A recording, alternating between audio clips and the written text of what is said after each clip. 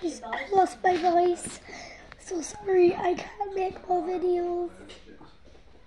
I made one without my voice. So